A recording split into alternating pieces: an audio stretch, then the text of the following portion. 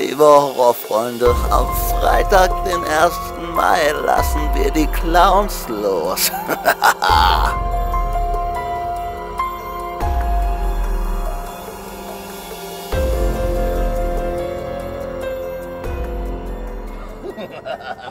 Also macht euch bereit und lasst euch das Grauen lehren.